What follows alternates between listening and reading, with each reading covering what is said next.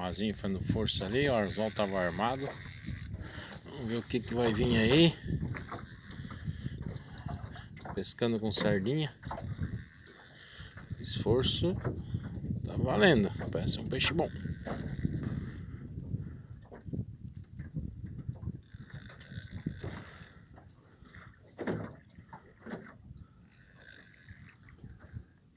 Pega o passo agora.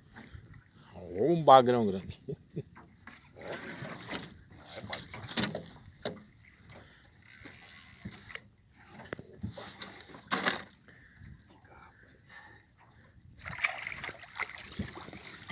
Baiacu. Cara, o tamanho do baiacu. Meu caramba! Valeu, galera! Olha o tamanho do baiacu. Opa! Caracas, bicho. Você dá uns 3 quilos.